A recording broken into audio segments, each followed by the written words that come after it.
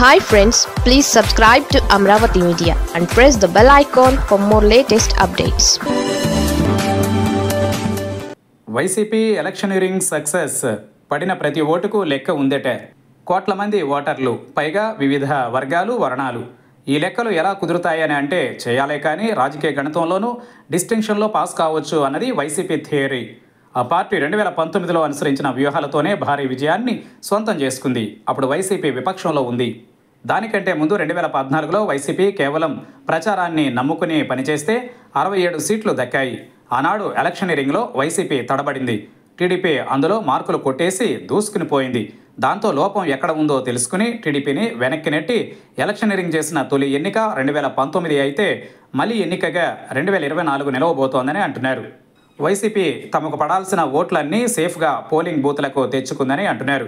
అవన్నీ ఈవీఎంలలో పడేలా వైసీపీ తగిన జాగ్రత్తలు తీసుకుందని పోల్ మేనేజ్మెంట్లో వైసీపీ ఈసారి కొత్త పోకడలు పోయిందని అది కూడా ఆ పార్టీకి అసెట్ అని అంటున్నారు.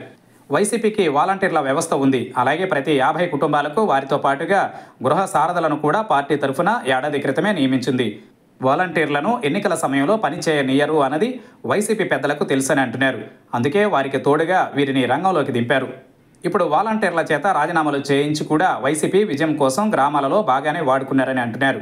అలాగే గృహ సారథులు కూడా వైసీపీకి బాగా అక్కరకొచ్చారని అంటున్నారు.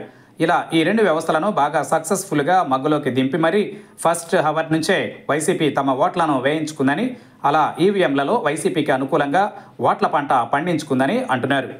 రాష్ట్రంలో ఈసారి మొత్తం పోలింగ్ శాతం ఎనభై ఒకటి పాయింట్ ఎనిమిది ఆరు శాతంగా ఉంటే పట్టణాలలో అది కాస్త అరవై రెండు పాయింట్ ఆరు రెండుగా ఉంది.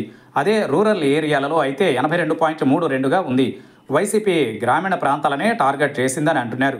అక్కడే పార్టీకి ఫేవర్గా కూడా ఉండడంతో గెలుపు దిశగా పార్టీని పరుగులు తీయించిందని అంటున్నారు. ఏపీలో చూస్తే మొత్తం నూట డెబ్బై ఐదు అసెంబ్లీ సీట్లు ఉంటే అందులో రూరల్లో ఉన్నవి నూట పదిహేడు అర్బన్లో ఉన్నవి యాభై ఎనిమిదిగా ఉన్నాయని ఒక లెక్క ఉంది. అలాగే రూరల్లోనే భారీ పోలింగ్ సాగడం మహిళలు వృద్ధులు అంతా పోలింగ్ బూత్లకు క్యూ కట్టడం వెనుక వాలంటీర్లు గృహ సారథులు ఉన్నారని అంటున్నారు. వైసీపీకి ఓటు చేయకపోతే పథకాలు ఏవి ఉండవని జరిగిన ప్రచారం దానికి వాలంటీర్లు కూడా చేసిన మేలు అన్నీ కలిసే వైసీపీకి ఓట్లు పడేలా చేశాయని అంటున్నారు. ఈ ధీమా బాగా ఉండబట్టే మేమే మళ్ళీ అధికారంలోకి వస్తున్నామని వైసీపీ చెప్పగలుగుతోందని అంటున్నారు. మొత్తం మీద వైసీపీ ఎలక్షనీరింగ్ వర్కౌట్ అయిందని ఆ పార్టీ నేతలు అంటున్నారు. మరి ఆ సక్సెస్ రేటు ఎంత నిజంగా? ఓట్ల పంట పండిందా లేదా అన్నది తెలియాలంటే రిజల్ట్ డే వరకు ఆగాల్సిందే మరి.